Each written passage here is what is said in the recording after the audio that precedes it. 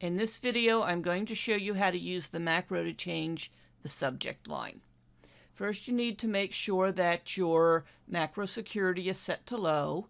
Go to File Options, Trust Center, Trust Center Settings, Macro Settings, and select Enable All Macros. Then press Alt F11 to open the Visual Basic Editor.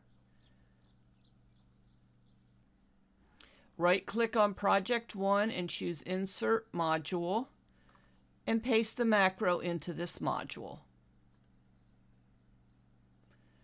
To test it, select a message and run the macro.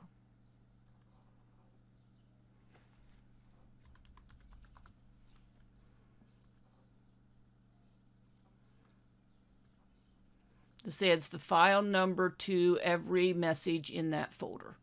If you're using the run a script macro, you'll enter it into Outlook the same way. You'll put it into a module. And then in Outlook, you'll create a rule.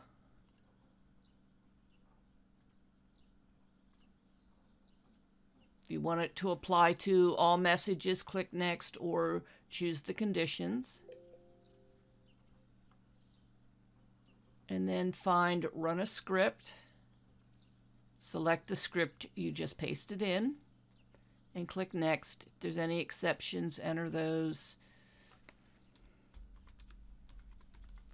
Enter a name for your macro and then click finish. This will only run when Outlook is running. When you receive a message, the script will run, add a number to the subject and it uh, begins with the number 101.